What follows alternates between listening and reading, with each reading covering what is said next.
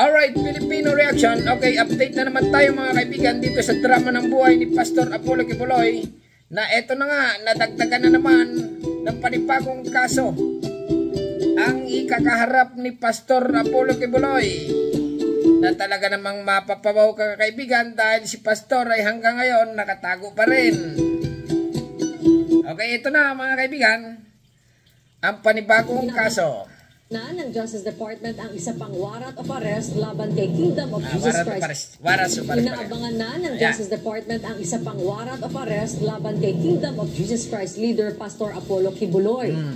Ayon kay Justice Undersecretary Marge Gutierrez, ito ay kaugnay sa hiwalay na kasong inihain ng DOJ sa korte sa Pasig City. Hmm. Matapos baliktarin ng ahensya ang pagbasura ng Davao City Prosecutor's Office sa mga kasong rape, qualified human trafficking at child abuse laban kay Kibuloy.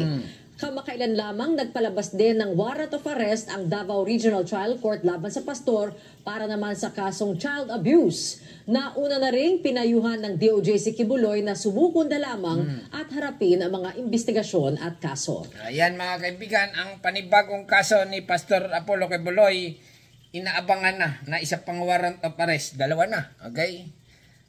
Ah, ilan na ba? Dalawa, tatlo, tatlo na, or marami na. Patong-patong na mga kaibigan, itong kaso ni Pastor Apollo Kibuloy, ha? Na itong warrant of arrest ay inilabas na nga, or ilalabas na, ha? Isa pang warrant of arrest.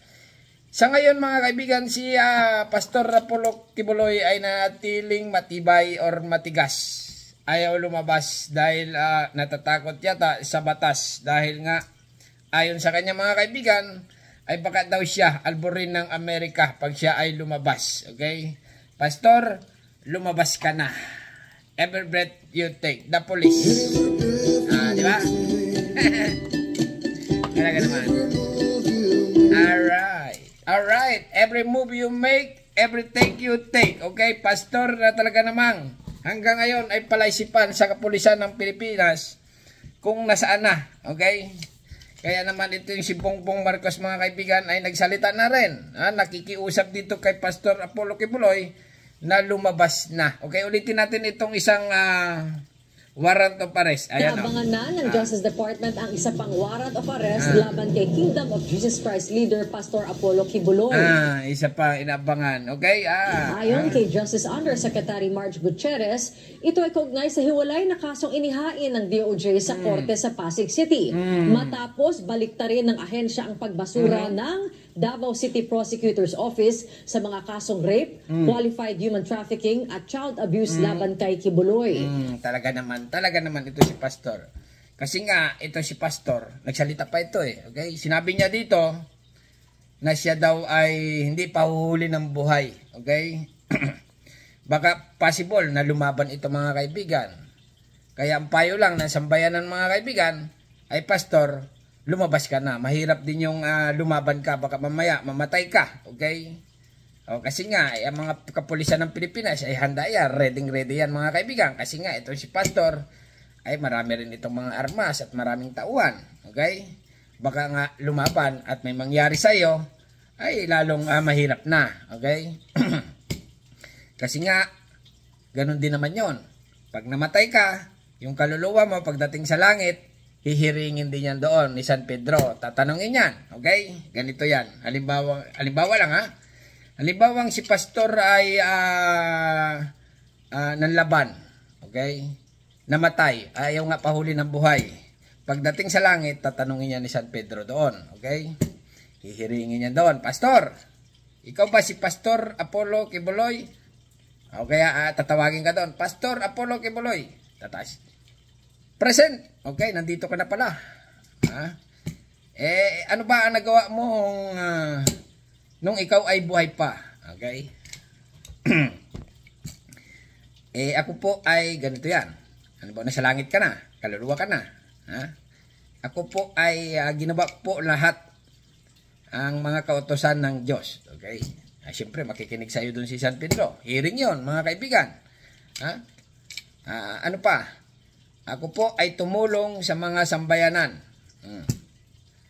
Ginayo ko na rin po na ako po ay anak ng Diyos. Okay. Okay.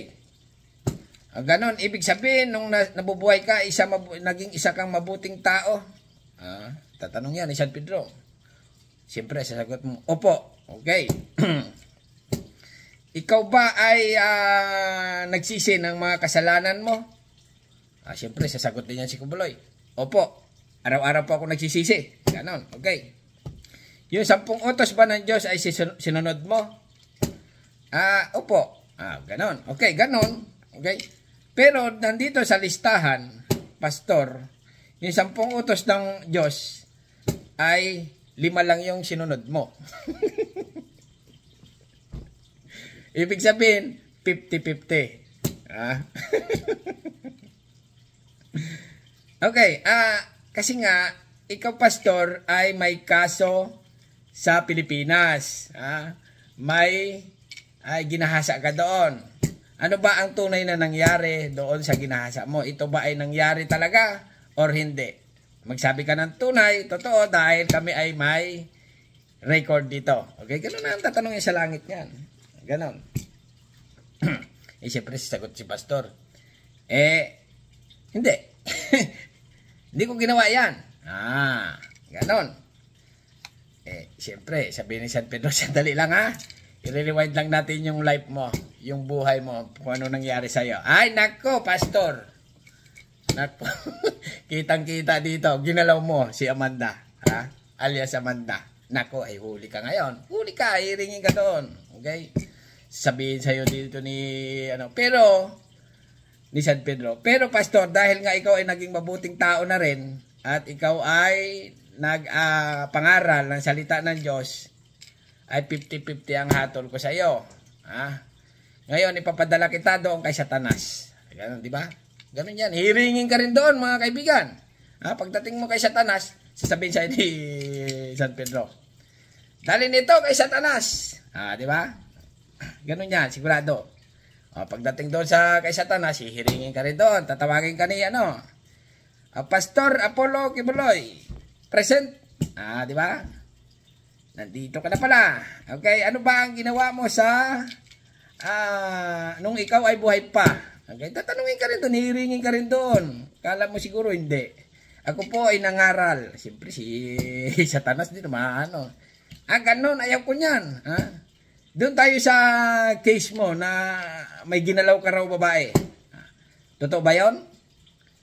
Eh, ang ano nga yan, eh, eh siyempre, tanggi ka pa. Ah, hindi totoo yan. Ah, di ba? Gusto mo, kapunta sa langit eh. Sasabihin sa'yo ni, ni Satanas. yan ang gusto ko sa'yo, kay Buloy. hindi ka namin. Sinungaling ka. ah, di ba? Ganun yan mga kaibigan. Okay, pasisya na. Halimbawa ay, ah, halimbawa, ganun nga, iringin ka rin doon sa impyerno. Ha? Eh, hindi ka rin tatanggapin doon sa impyerno sa tingin ko. Kasi nga, kung ano daw ang ginagawa mo sa lupa, ay gaganon din ang gagawin mo sa impyerno. Halimbawa, uminom ka ng uminom. Ha? Doon ay painumin ka na ng painumin.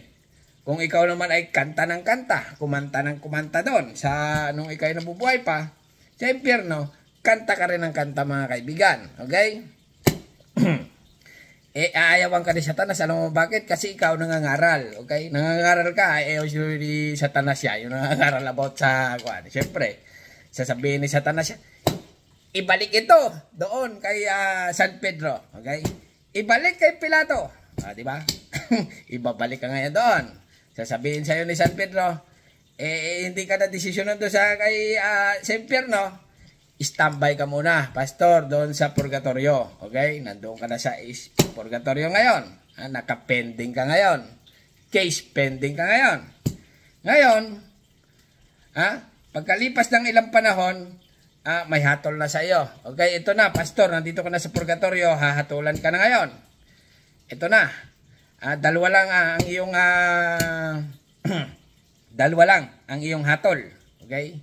Mapunta ka sa impyerno, Totally, ah, na doon ka na talaga na hindi ka na ano, masusunog ka doon sa kumukulong ah, apoy. Kawali, lalagay ka sa kawali, okay?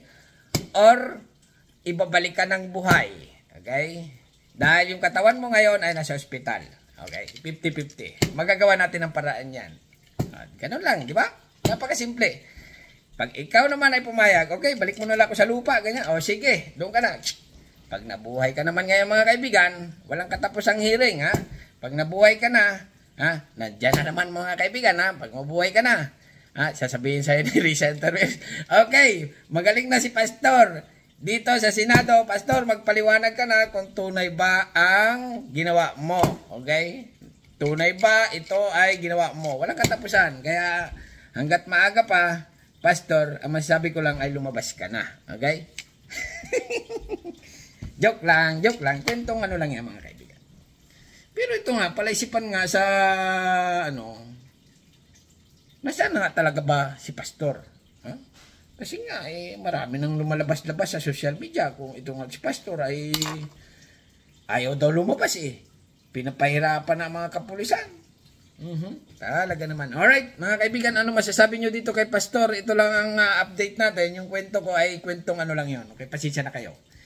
Ah, ito na nga na si Pastor ay ah, inabangan isa pang warrant of arrest. Okay, continue. Alright, the police.